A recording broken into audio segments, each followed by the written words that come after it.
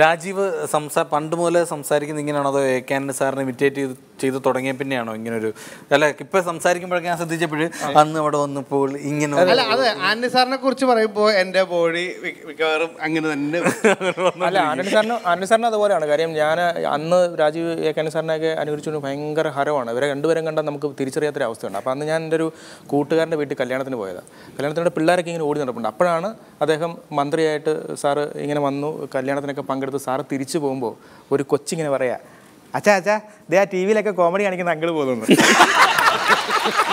അപ്പൊ സാർ ഒരു പ്രാവശ്യം നോക്കിയിട്ട് സാർ ഒരു ഒറ്റ സാറിനെ നേരിട്ട് കണ്ടിട്ടുണ്ട് എപ്പോഴെങ്കിലും? ആ എ കെ ആന്റണി സാറ് അന്ന് കേരളത്തിന്റെ മുഖ്യമന്ത്രിയായിട്ട് ഒരു വർഷം കഴിഞ്ഞതിന് ശേഷം ഈ എറണാകുളത്ത് കച്ചേരിപ്പടിയിൽ കൃഷ്ണൻ നായർ മെമ്മോറിയൽ ഓഡിറ്റോറിയത്തിന്റെ ഉദ്ഘാടനത്തിന് വന്നപ്പോൾ ഞാൻ കാണാൻ ചെന്നതാണ് ഞാൻ ചെന്നതാ.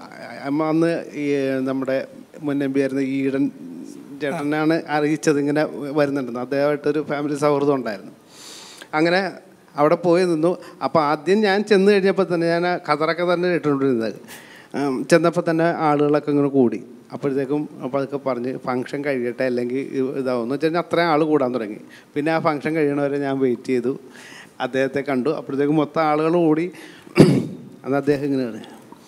പ്രോഗ്രാമൊക്കെ കാണാറുണ്ട്. വളരെ ഗംഭീരമാകുന്നുണ്ട് പക്ഷേ എന്റെ പണി കളയരുത് തമാശക്കായിട്ടാണ് പറഞ്ഞത്. പിന്നെ പിറ്റേ ദിവസത്തെ പത്രത്തിലും ഇതിലൊക്കെ വലിയ വാർത്തയായിട്ട് വന്നു. പിന്നെ എന്താ പറയുക ഈ ഒരു പ്രാവശ്യം ഡൽഹിയിലൊരു പ്രോഗ്രാമിന് പോകുന്ന സമയത്ത് അന്നി സാറിന്റെ ഭാര്യയുടെ ഒപ്പം ബാങ്കിൽ വർക്ക് ചെയ്തിരുന്ന ഒരു സ്ത്രീ ഉണ്ടായിരുന്നു.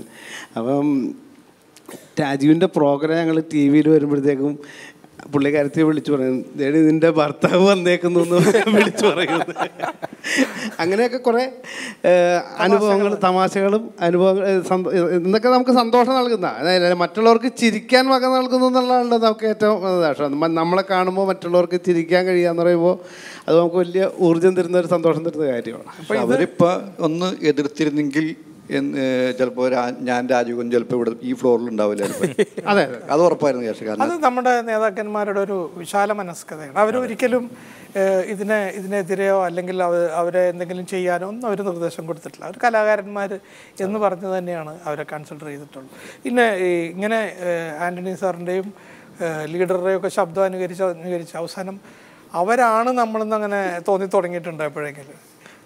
അങ്ങനെ ഇല്ല എന്നിരുന്നാലും സ്വാധീനിച്ചിട്ടുണ്ട്. സ്വാധീനിച്ചിട്ടുണ്ടെന്നല്ല. സ്വാധീനിച്ചിട്ടുണ്ട്. ആന്റണി സാറിനെ വളരെ ആന്റണി സാറിനെ ഒരുപാട് സ്വാധീനിച്ചിട്ടുണ്ട്. കാരണം അത്രയും എന്താ പറയുക ആദർശധീരനായിട്ടുള്ള ആളില്ല എന്നുള്ളത് തന്നെയാണ് എനിക്ക് തോന്നിയിട്ടുള്ളത്. അത്രയും ബഹുമാനവും സ്നേഹമൊക്കെ അദ്ദേഹത്തോടുണ്ട്. അത് അങ്ങനെ പറയരുത്. അപ്പൊ കരുണാകരൻ ആദർശ അല്ല. നീ അങ്ങനെ തിരക്കി അങ്ങനെ തിരക്കിച്ചു എന്ന് വെച്ചിട്ടുണ്ടെങ്കിൽ നമ്മൾ ഇത് എവിടെ എവിടെ എത്തൂല. കാരണം എന്ന് വെച്ച് കഴിഞ്ഞാൽ കരുണാകരൻ സാറും ആദർശധീരനായിരുന്നു അദ്ദേഹത്തിന്റെ പ്രവർത്തിക്ക് വ്യത്യാസമുണ്ട്. സാറ് ആദർശ തീരനായിരുന്നു. കെ കരുണാകരൻ ആദർശ തീരനായിരുന്നു. ഉമ്മൻചാണ്ടി സാറ് ആദർശ തീരനായിരുന്നു. അപ്പൊ പിന്നെ ഞങ്ങളുടെ അങ്ങനെ പറയുമ്പോ പറയുമ്പോ എല്ലാം എന്താണ് കുഴപ്പം ഞങ്ങളുടെ പുള്ളി ആദർശ തീരനാണല്ലോ നേരത്തെ. അതെ. ഇവരെല്ലാവരും നല്ലവരാണെന്നാണ് പറഞ്ഞു വന്നത്. ഓക്കെ. അല്ല ഞാൻ ചോദിച്ചത് ഇപ്പോ ആ അദ്ദേഹത്തിന്റെ ഭാവം രൂപം അദ്ദേഹത്തിന്റെ സംസാര രീതി എല്ലാം അനുകരിക്കുന്ന രാജീവ് അദ്ദേഹത്തിന്റെ സ്വഭാവം അനുകരിക്കാറുണ്ടോ? ജീവിതത്തിലോ? ആ. ഇല്ല. അതെന്തുകൊണ്ടാണ്? അത് പറ്റില്ലല്ലോ. അത് നമ്മൾ നമ്മുടെ ജീവിതം വേറെ അദ്ദേഹത്തിന്റെ ജീവിതം വേറെ. അല്ല എന്തെങ്കിലും ഒരു ഇഷ്യൂസ് ഒക്കെ കാണുമ്പോൾ കയറി ഇടപെട്ട് അവരൊന്ന് ഫയർ ചെയ്യണം എന്നൊക്കെ അങ്ങനെ വല്ലതും തോന്നുന്നുണ്ടോ? കാര്യം ഈ ഈ ഇത്രയും നാളും പല ആന്റണി സാറ് എപ്പോഴും മൗനം വിദ്വാന് അതേപോലെ തന്നെ ഞാൻ വെള്ളാപ്പള്ളി ഗണേശൻ സാറിനെ അനുകരിച്ചു അതൊക്കെ ഒന്ന് ആദ്യം കാണാം. കാണാം. പ്രിയമുള്ളവരെ ഇവിടെ കൂടിയിരിക്കുന്ന എല്ലാവർക്കും തന്നെ എന്റെയും എന്റെ എല്ലാവിധ ഭാവുകങ്ങളും ഈ അവസരത്തിൽ നേരുകയാണ് ഞാൻ കൂടുതൽ ബഹുമാനിക്കുന്ന വ്യക്തിയാണ് ശ്രീമാൻ എ കെ ആന്റണി അതുപോലെ തന്നെ ഞാൻ ഏറ്റവും കൂടുതൽ ബഹുമാനിക്കുന്ന വ്യക്തിയാണ് ശ്രീ ഉമ്മൻചാണ്ടി അതുപോലെ തന്നെ ഞാൻ ഏറ്റവും കൂടുതൽ ബഹുമാനിക്കുന്ന വ്യക്തിയാണ് ശ്രീ അച്ചുബാബ അതുപോലെ തന്നെ ഞാൻ ഏറ്റവും കൂടുതൽ ഭക്തി ബഹുമാനിക്കുന്ന വ്യക്തിയാണ് ശ്രീ ഓ രാജഗോപാൽ. അതുപോലെ തന്നെ ഞാനിപ്പോൾ ഏറ്റവും കൂടുതൽ ബഹുമാനിക്കുന്ന വ്യക്തിയാണ് ശ്രീ മോഡി.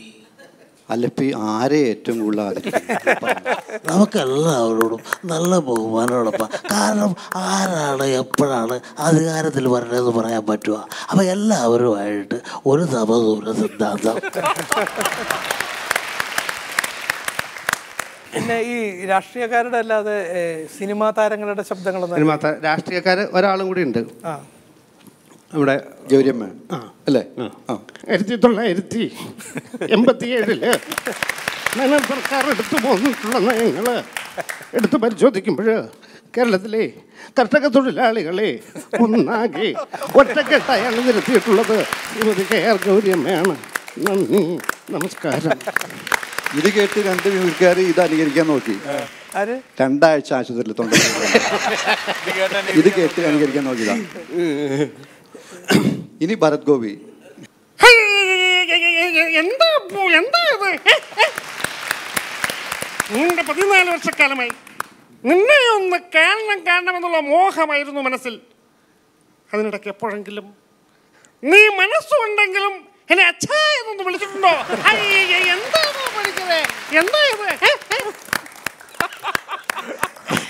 ഇതിന്റെ പിന്നിലൊരു കഥയുണ്ട്. മസ്കറ്റിൽ ഷോ നടക്കാണ്. അപ്പോൾ മൂന്ന് ഷോ ഉണ്ട്. കെ എസ് പ്രസാദ് ഡയറക്റ്റ് ചെയ്ത ഞങ്ങളുടെ ആദ്യത്തെ ഷോ ഈസ്റ്റേൺ കോപ്പഡി ഷോ ഏറ്റവും സൂപ്പർ ഷോ ആയിരുന്നു. ഇന്നും അന്നും. അപ്പോൾ ഈ നല്ല തണുപ്പത്ത് പാട്ട് പാടിക്കൊണ്ടിരുന്ന സിംഗർ ബാക്കിൽ വന്നിട്ട്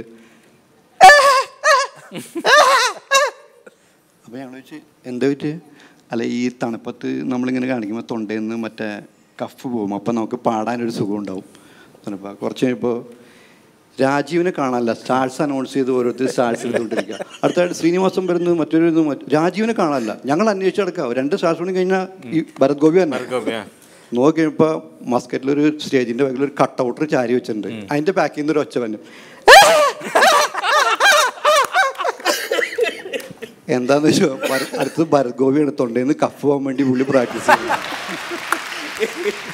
പിന്നെ ഞാൻ ഈ അടുത്തിടയ്ക്ക് ഏപ്രിൽ പതിനെട്ട് എന്ന് പറയുന്ന സിനിമയിൽ ഭരത് ഗോപി സാറുണ്ട്. അപ്പം അതിനകത്ത് അദ്ദേഹത്തിന്റെ വ്യത്യാസം ഒന്ന് മനസ്സിലാക്കാം ഇ- ഇന്നലെ ഞാൻ പറഞ്ഞ സിനിമാ തിയേറ്റർ വരെ പോയി.